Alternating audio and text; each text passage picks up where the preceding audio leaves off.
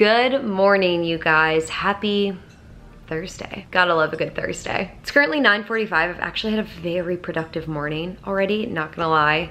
Had a lot of emails to go through since I sort of took that half day yesterday. So I just started working like right at 8.30 and just sort of wrapped up all of the stuff that I had to catch up on from yesterday. So I'm feeling really good about that. 9.45, already productive. That is the way to have a nice early day, which actually I'm going to need to do because I have um, plans this afternoon at 4.15. So that, right now I remember that's why I got up and took care of that right away. so we actually have a good amount to do today for work. And as I said, at 4.15, I have a little treat planned. I really planned this for myself, but then Tara was like, I'll come with you. So even better. I literally made a reservation for one. But I noticed this outdoor patio near me was doing $15 for six oysters and an entire bottle of wine. So I was gonna go do that by myself, um, but Tara was like, let me come with you. So she's gonna come and help with the wine. Obviously, she is not interested in the oysters, so even better, because that's more oysters for moi. Very excited though, it's going to be a very fun time just a little treat for myself. I haven't had oysters in quite a while and I just couldn't resist this deal, so. But until then, there is quite a bit of work to be done here. I think what I'm gonna dive into next is editing a vlog and then we're gonna take it from there. Guys, I really messed up yesterday and got such a bad sunburn on my back. I literally don't even know how it happened. It was not hot out yesterday. I am so confused, but it's so bad. I'm actually really nervous about what's gonna happen. I'm so good too. I never, ever, ever get a sunburn. I gotta show you guys this. It's really, it is something else. Let me see, because obviously I gotta like pull up my shirt. So how do I do this without flashing you? Can you guys, guys, Oh my god, I fucked up so badly. oh no. Guys, that's gonna be a really big problem. I guarantee that peels. What am I gonna do? I'm supposed to go to the beach on Saturday. It's gonna be a nightmare. I'm gonna have to keep a shirt on the whole time for sure. gonna be that bitch at the beach. oh god, I'm scared. I'm really scared. Molly, it's that time of day. You're excited. I love how excited you get for this. It's so cute. Okay, here we go. Your favorite time. Oh yeah, how's that feel? Good? I just love how content she is. Are you happy? In your sunny spot? Good girl. Go ahead, sunbathe away, sister. I need to stay out of the sun after that sunburn.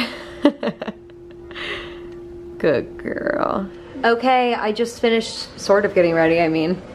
I'm not dressed up or anything, but I am off to my oyster date and Tara's joining me to enjoy the wine with me. the oysters are all mine though.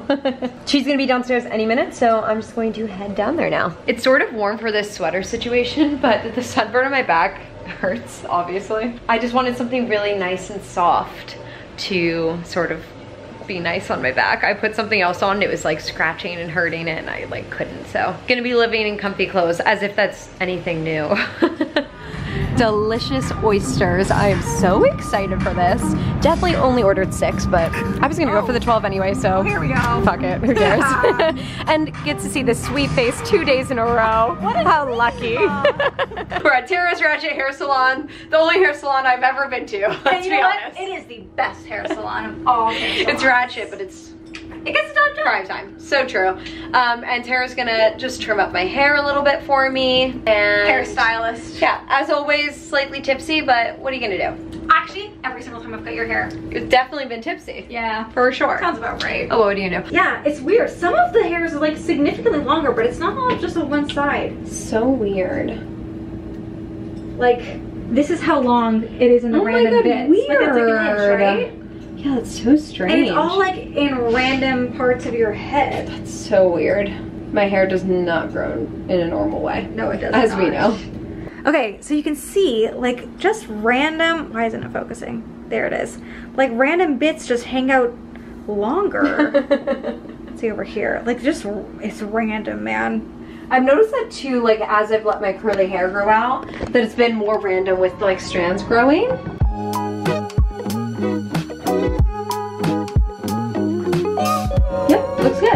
Yep, looks good. Don't you think? Yeah, it's pretty Looks even on both I mean, sides? this is a little bit longer, but I don't know if you You want to go think so? shorter. That also might just be in my hmm. head. Well, yeah, I guess maybe slightly. But like by like half. a Yeah, I'm like not that worried. And then how does it look from the back? Does it look okay? Oh yeah, definitely. There's wait, no, there's a little straggle over here. Looking good? Just about there. Beautiful. Oh my god, the sweater's just covered in Oh hair. yeah, maybe you should have taken it off. That's fine. Oh well. Cute. Cute. There you go. Love it. Another haircut. Here we are. Tara just left and I'm feeling a little bit toasty. I have one last drink here for myself, some seltzer and some coconut juice. And I'm going to do a Q&A. Wish me luck. Actually, yeah, that feels better. So I asked you guys on Instagram for some questions and some of you really went for it. I have to say 50% of these questions were just about me moving to Canada because of something that Tara said in her vlog. Thank you, Tara. we'll save that for the grand finale. Let's start somewhere else. Will you be moving to a new apartment or you love your place and will stay another year? Ah, I do love my place, but I do think I'm moving when my lease is up, which I'm very sad about, but ah, I don't know. This building, this apartment has so many memories. It just feels like home. This is a very homey space to me and I really designed it that way. I, I chose this apartment, said this is an apartment that I could live in for the next three years and that's what I did. It's so crazy to think about. Uh, I, I'm gonna be really, really sad leaving this place. I've had some amazing memories here. But I do think that this is my last couple months living here, if I had to guess. But man, do I love this apartment. Someone asked, do you see yourself living in California forever? And I don't know. I like the idea of moving around and trying out other places, but I could definitely see California being my home base, you know? Like, I don't know how it could get better than living here. So I wouldn't stay in LA, but moving somewhere else in Southern California, I think I could stay here forever. What's the most embarrassing thing you've done in front of your crush? I actually have something sort of funny for this. It's not even really something that I did in front of them. Oh God, this is so embarrassing. So in like fifth grade or something like that, I had a really big crush on this boy and oh, my fridge. Anyway, I had a really big crush on this boy and he was in my grade but not in my class and his mom was our substitute teacher for like an extended period because our teacher went on maternity leave or something like that. And so she was there and I had a really big crush on her son. But she was my teacher and like knew me very well then. So one time I was with a friend of mine and she convinced me like call his house. Like you should just call his house and ask to speak to him. And I don't know why I did that. That's so crazy but I did.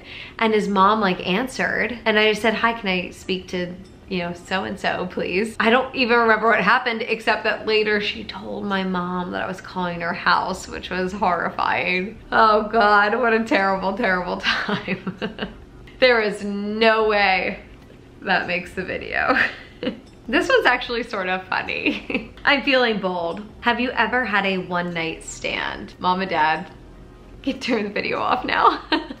no, I'm kidding. I actually really haven't. I have one that I sort of consider a one night stand. This is someone who I went on one mediocre date with and then I hung out with them again and we ended up hooking up. But I, I know that's on a second date, so it's not really a one night stand, but I never saw, or even, I don't even know if I spoke to this person again after this time.